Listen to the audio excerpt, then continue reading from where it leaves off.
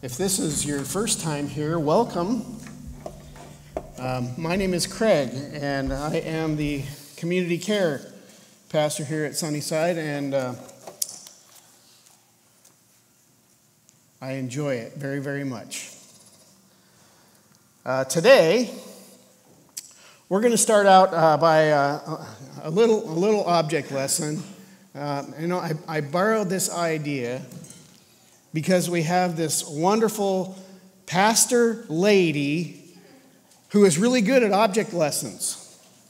So this morning we have uh, three uh, jars on, on, on, the table here. Just want you to take a look at them there for a minute. And uh, they're, they're ceramic jars, and they were uh, created, they were made. So, um, tough question do you know what material was used to make these ceramic jars? What do they call it? They call it clay. And when you're making a ceramic jar, and I know there are people out here who know this stuff, how, how are they made? Speak up, go ahead. You, you throw the clay, you have to, th- you bake it. What else? You have to glaze it. You have to what? You have to mold it unless you have a, a, a mold that you just put the clay in. You have to mold it with your hands. That's right. Thank you. So, uh, looking at these three uh, clay jars, these three jars of clay this morning, um, how are they uh, similar?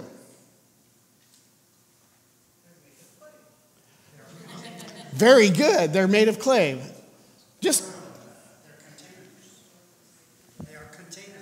They are all containers. Good. I like that. Uh, I'll move on to the next question since, uh, since we're uh, on a roll here. What is the intended purpose of each of these clay jars. To hold stuff. Okay? So th- this might hold what? Tea, water, and it's used to be poured out into a cup. This one might be a little, little more challenging. It has an, uh, it has an opening. Good. Pencils uh, could be used for a pen or pencil holder. Could be used to put flowers in. I think that's pretty good. Anybody else? Perfume. Um, the, the opening here is a, is a little bit wide, but if there was a cork, certainly. All right. And uh, the last one over here. What do you think this one should be used for? Coffee, filters. Coffee filters. Cookies. Stuff. What kind of stuff? Little odds and ends? Bobby pins? Safety pins? oh, good one, Barry. Okay. Yeah. Um, I, I guess it could be used for an urn. All right. So, um, we had some fun here. No, enough said. Um, this is part one of the message Treasure in Jars of Clay.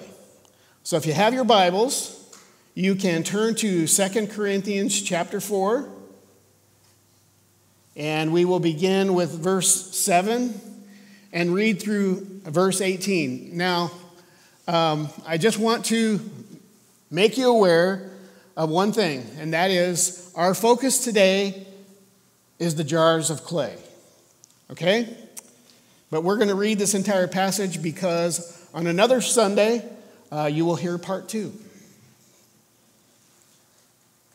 2 Corinthians chapter 4, beginning with verse 7, and this is the New International Version. And we just have verse 7 because that's kind of our focus for the screen, but I'm going to read all of the verses so you can be thinking about uh, what else is contained in God's Word. But we have this treasure in jars of clay to show that this all surpassing power is from God and not from us. We are hard pressed on every side, but not crushed, perplexed, but not in despair, persecuted, but not abandoned, struck down, but not destroyed. We always carry around in our body the death of Jesus, so that the life of Jesus may also be revealed in our body. For we who are alive are always being given over to death for Jesus' sake, so that his life may also be revealed in our mortal body. So then, death is at work in us, but life is at work in you. It is written, I believed, therefore I have spoken.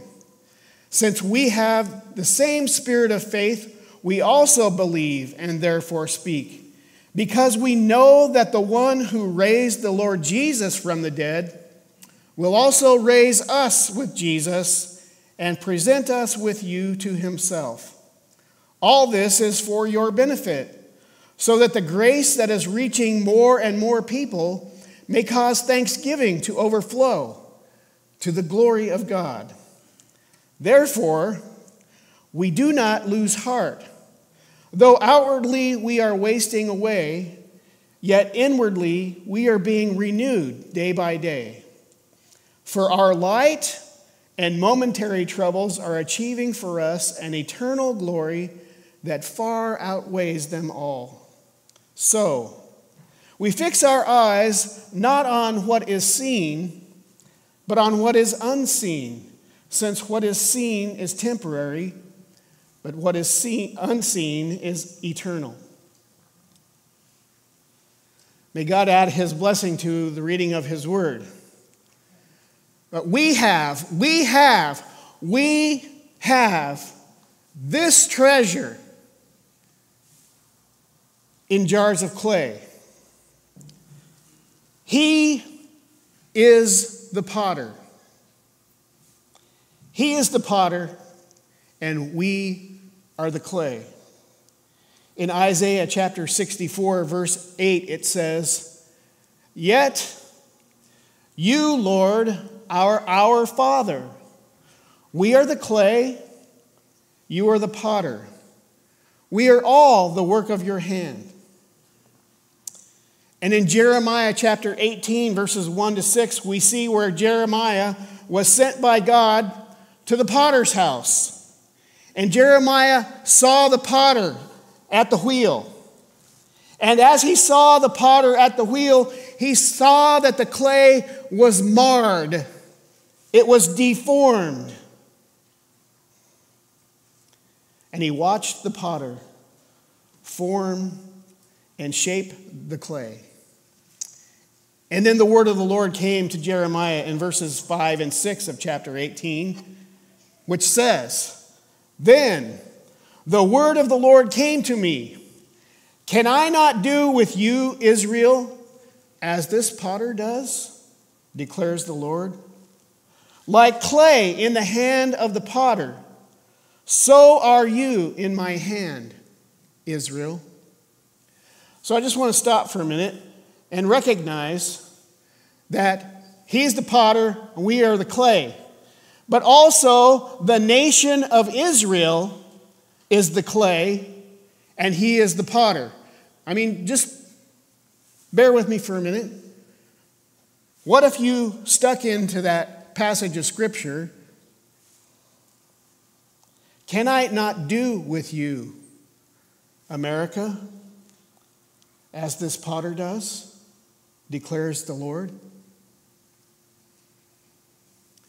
I wonder if we took a, a survey by a show of hands, how many of us think that America needs the potter at the wheel? So, when we're talking about jars of clay, we're not just talking about individual people. We're talking about nations. We're talking about entities. We're talking about the body of Christ. We are the clay, and He is the potter. In Acts chapter 9, there was a guy named Ananias. And the Lord had told Ananias to take Saul, who was to be the apostle Paul, to take him in. And Ananias said, Oh, wait a minute, Lord. Uh, I know this guy. Uh, he, he is a destruction machine. His mission and purpose is to wipe us Christians out. His mission and purpose is to destroy and jail those who are followers of the way. And the Lord said to, to Ananias, Saul is my chosen instrument. Before he was even saved or redeemed or encountered on the road to Damascus, God saw the clay, and he, the potter, saw the possibilities.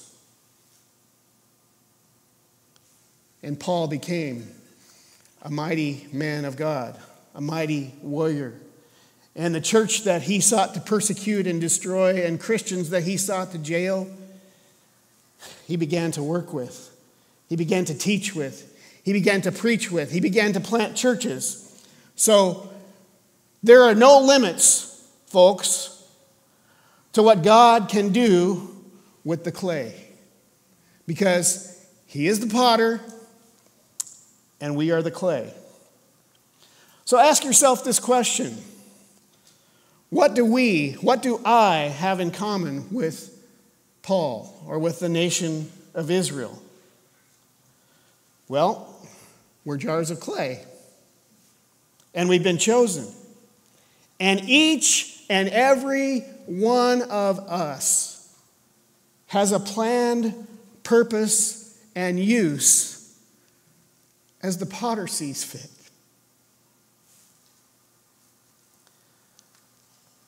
Well, the treasure in the jars of clay is the message. Now, don't get me wrong. I believe that God sees each one of us for our potential, who we are and who we can become, and He treasures us. He has given us value. He has created us in His image. In the book of Genesis, He made us from clay. And He formed and shaped. And He had a plan and intended purpose and use. And then sin messed it up. But God did not give in. God did not give up.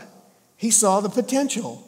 He saw the potential in Paul. He saw the potential in the nation of Israel who continually went astray.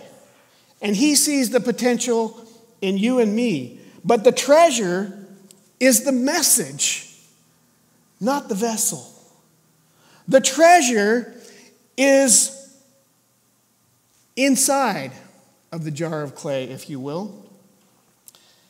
It has the most value and it has awesome and unlimitless power. It is the message of Christ crucified and risen from the dead. It is the message of Christ the victor, of Christ the king. It is the message of every knee shall bow and every tongue will confess that Jesus Christ is Lord. And yet, God chooses to use a powerful message and demonstrate that powerful message in little old tiny jars of clay.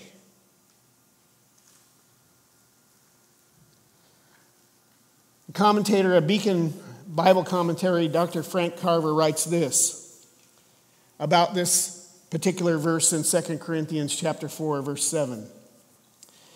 The allusion may be to an earthen jar in which precious treasures were often hidden, or a small but inexpensive pottery lamp that can bring light in the darkness. You see, we are the handiwork of the potter, and he has a calling and a purpose for each of us. And his treasure is in the jar of clay. The cross of Christ, the gospel of Christ, crucified, risen, and victor over the dead, and Lord of lords and King of kings.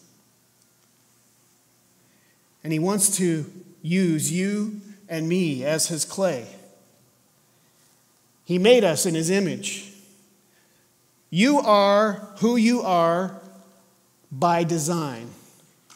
You are wired the way you are wired because God planned and intended for you to be wired that way.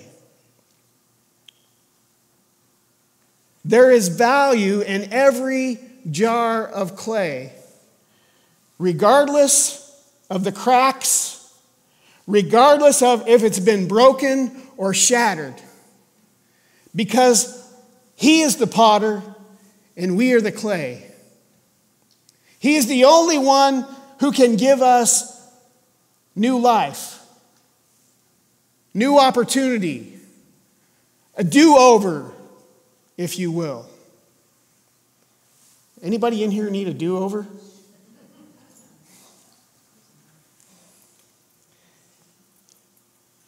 When He redeems us, He has something in mind. Yes, that we would be a demonstration of His power and the treasure of His message in a jar of clay. He forms and shapes our lives. He has a plan. And one of that primary reasons or purposes is to let the world know of his love. To let the world know that they don't have to live with a cracked jar or a shattered life or a broken heart. I want to ask you a question Is anyone worthy? Is anyone worthy to be used by God as a jar of clay?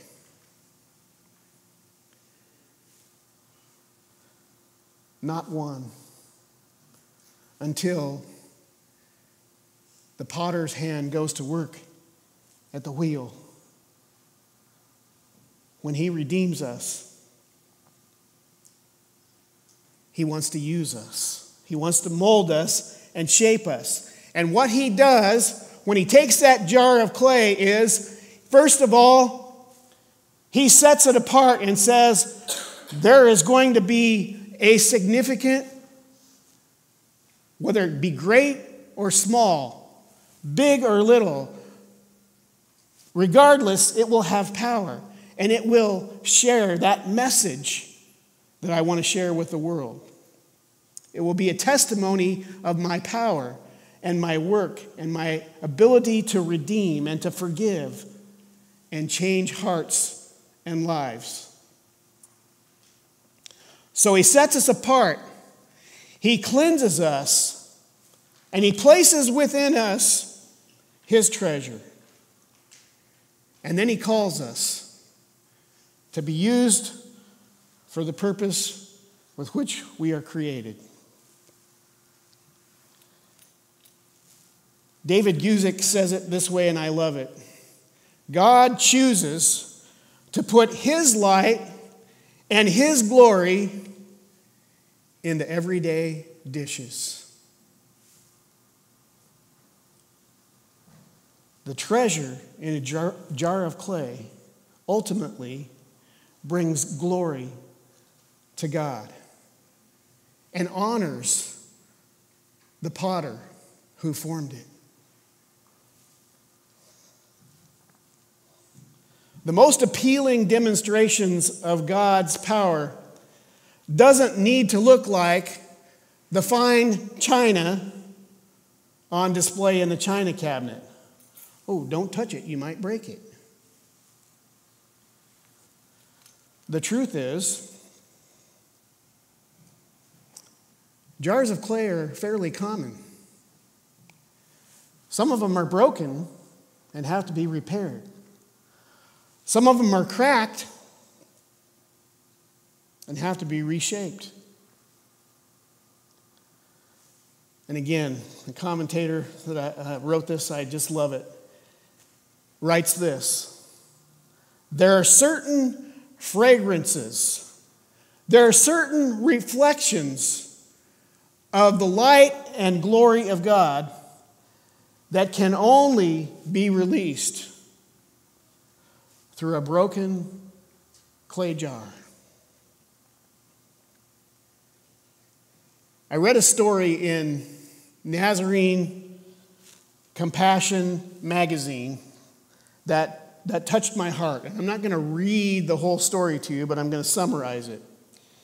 Uh, there's there's a, an organization, a ministry connected to the Church of the Nazarene in Chile and the name of that organization is Morada de Amor. And what Morada de Amor means is the look of love or the appearance of love. Now, there were these two Christian businessmen who I believe were also Nazarenes, and they were looking for a way to use their business and still minister to others and to their community. And these two Christian businessmen owned a restaurant called Baron Garden Cafeteria. And so what happened is they teamed up with Morada de Amor. Now, Morada de Amor is a development center for children, teens, and adults with disabilities. And these people at Morada de Amor who have disabilities don't qualify for government assistance. So you can imagine what their income might look like.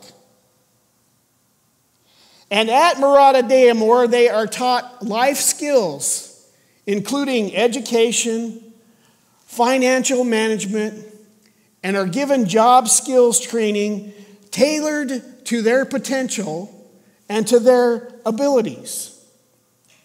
In summary, Baron Garden began training and hiring students from Morada de Amor to work in their restaurant. Now, there's, um, I think, about a dozen at this point. Doesn't seem like very many people. But to that dozen, it makes all the difference in the world.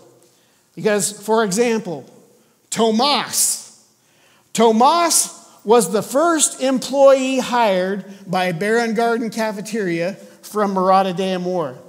And Tomas has Down's syndrome.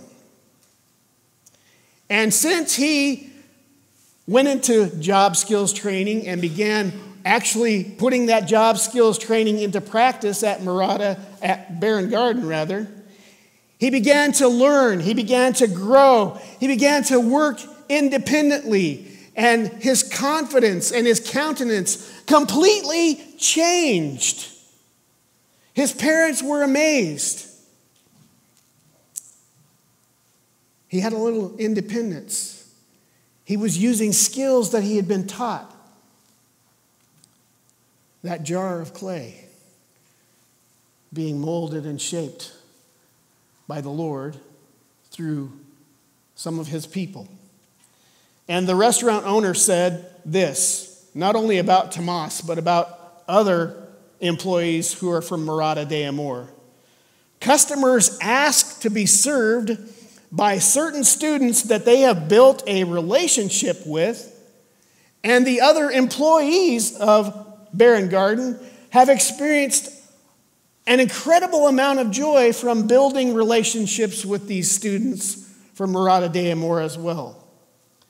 In fact, one of them, named Rob Robinson, who was an employee at Barron Garden and not a participant of Morada de Amor, but a trainer of someone from Morada de Amor, says this I feel blessed to be able to share and guide our new co workers in this process of meeting and learning about working in a place that serves people. And then he says this I love it. They infect us with their willingness, joy, and excellent work, many times better than what a person without a disability can offer. Hmm.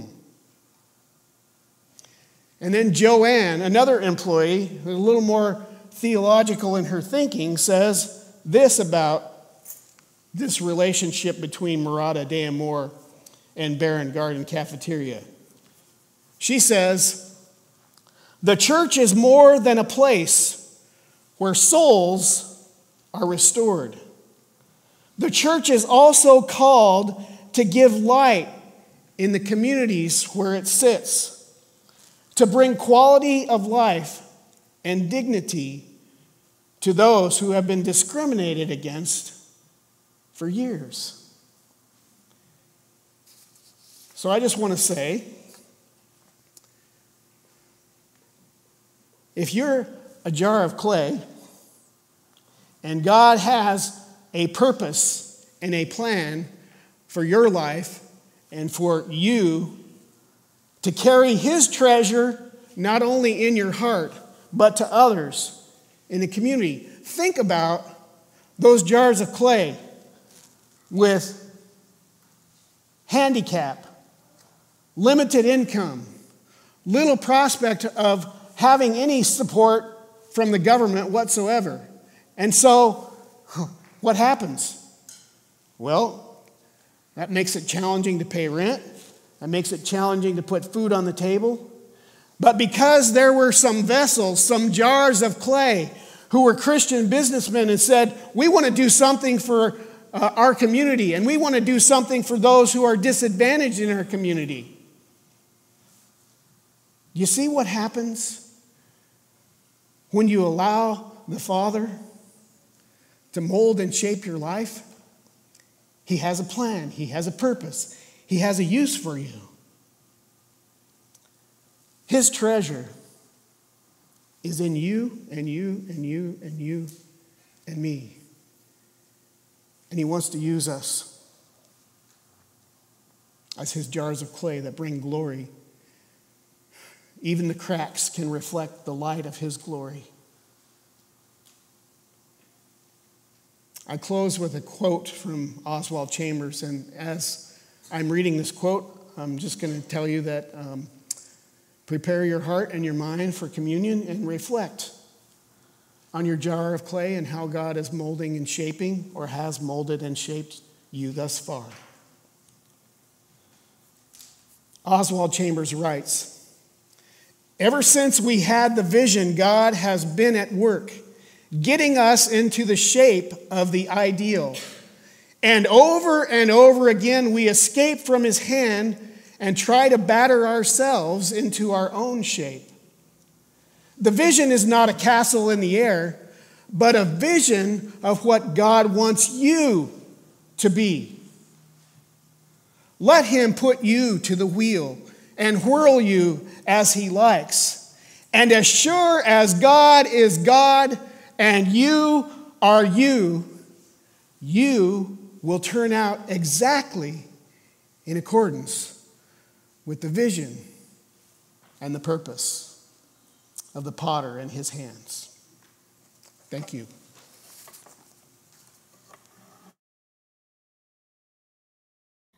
Thank you, Pastor Craig.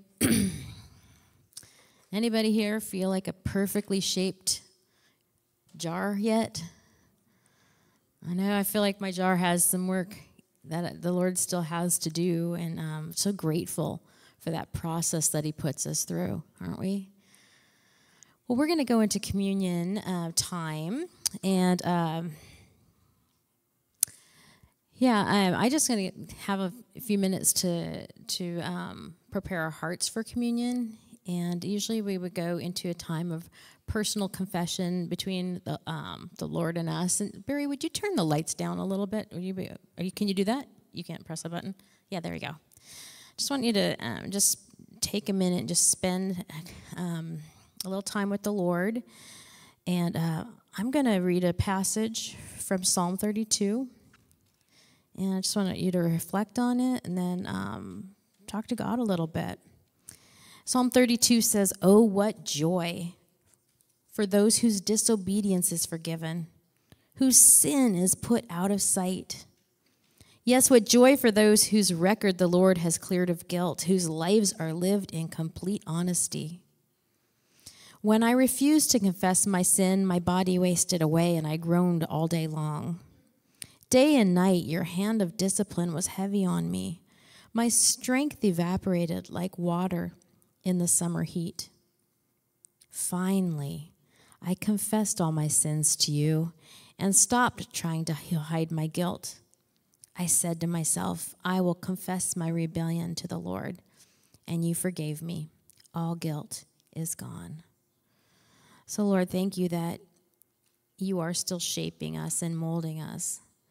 Thank you that you have put your spirit in us as jars, that we hold your holy presence within us.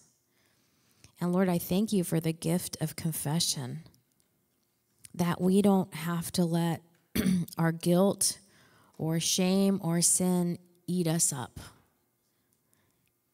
Thank you, Lord, that we come to you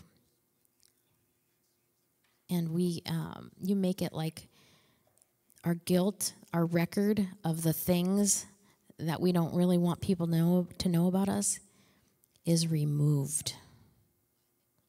So, Lord, we come to you and in um, in some silent confession before you.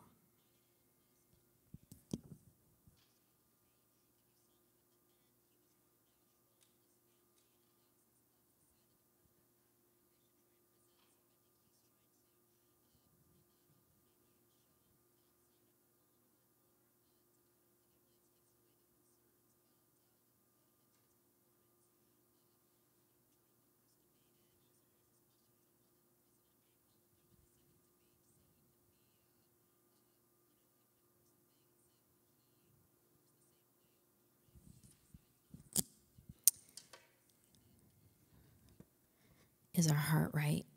Uh, we want, don't want to go into, conv- into communion without a heart cleansed and right before the Lord. And that's His doing. He makes our hearts right. So, Lord, we want to confess now any unforgiveness. Lord, we want to confess before you our secret sin, the things that we are hold very, very private that we don't really want others to know about.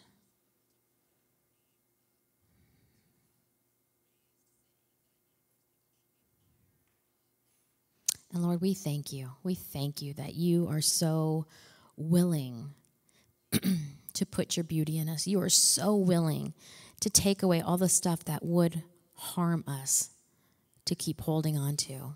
Thank you, Lord, that I look out into this church body and I see transformed lives. Thank you for transforming us. Thank you for taking us as cracked pots and putting yourself in and, and filling in all the little holes and the nooks and crannies that you make us useful. Amen. So I'm going to give you um, just a chance to. Um, there's elements here, communion elements on this side. You can turn the lights back up, please. Um, there's communion elements over here. I'm just going to have this half go ahead and grab elements, and this half go and grab from over there, and then we're just going to um, sit for a minute and and um, have communion together. So go ahead and get up. And um, as you're doing this, let's just sing a song. I mean, this is sort of just like kind of put in my mind this morning, so I didn't have a chance to like ask Carrie to play his guitar or anything. But we're just going to sing together. And if you know this song, go ahead and sing it. And if you don't know it, just as we're getting our communion elements, just um, you can just listen to the to the words. But we're going to sing "Give Thanks." Give thanks with a grateful heart. Give thanks to the Holy One. Give thanks because He's given Jesus Christ, His Son. Give thanks with a grateful heart. Give thanks to the Holy One. Give thanks because He's given Jesus Christ, His Son. And now let the poor say, I am rich. Oopsie, I'm gifted.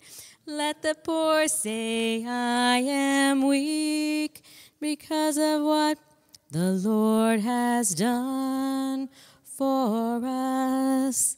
And now let the say, I am strong. Let the poor say, I am rich because of what the Lord has done for us. Give thanks. If somebody wouldn't mind, Barry, will you bring me some communion elements when you come through? Would you bring me some? Thank you. so now I just want to give you some time as um, people are making their way back to their seats, just to actually think of what you're, what you're thankful for. What are you thankful for? What has the Lord done for you that you are thankful for? Not five years ago, which you can still be thankful for that, but today, this week, right now. What is the Lord doing for you right now that you're thankful for? Thank you.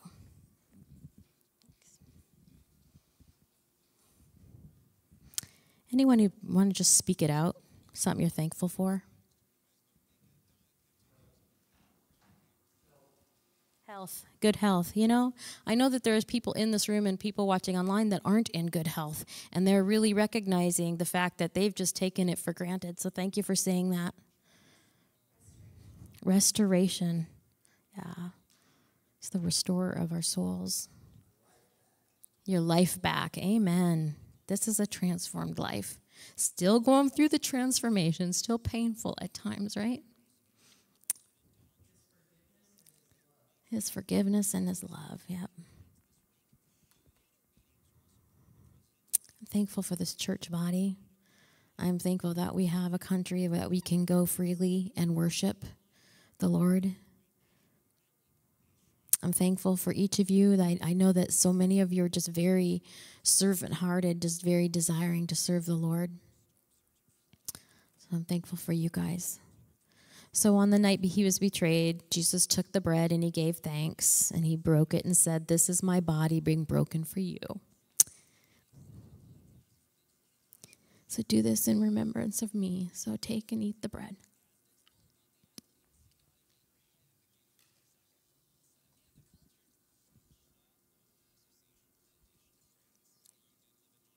And then he took the cup and he said, This is the cup of my blood, the cup of the new covenant. Drink this in remembrance of me and your sins. Think of me, and your sins will be forgiven. So, Lord, thank you that you forgive our sins.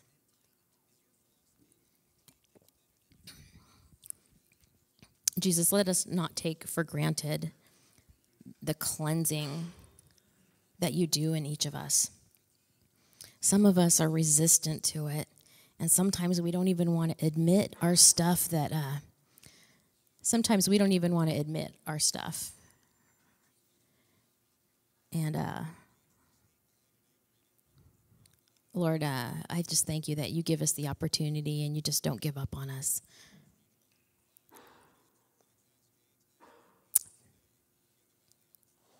Thank you, Jesus. Amen.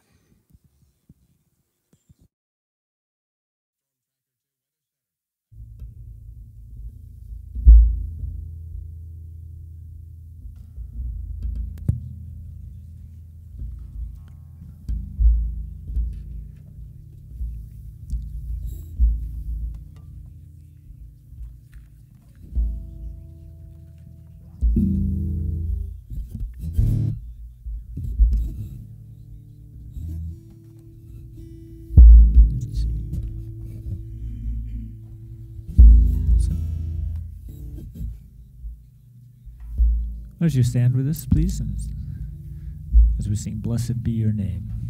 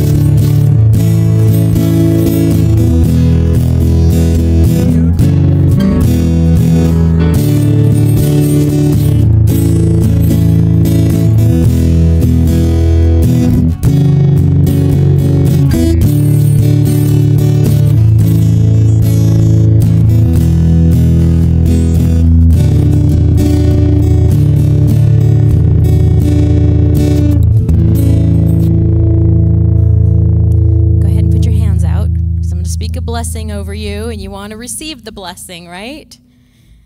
This is from Ephesians. I pray that from his glorious, unlimited resources, he will empower you with inner strength through his Spirit. Then Christ will make his home in your hearts as you trust him. Your roots will grow down into God's love and keep you strong, and may you have the power to understand, as all God's people do, how wide, how long, how high, and how deep his love is. May you experience the love of Christ. Though it is too great to understand fully, then you will be made complete with all the fullness of love and power that comes from God. Now, all glory to God who is able, through his mighty power at work within us, to accomplish infinitely more than we might ask or think. Glory to him in the church and in Christ Jesus through all generations, forever and ever. Amen.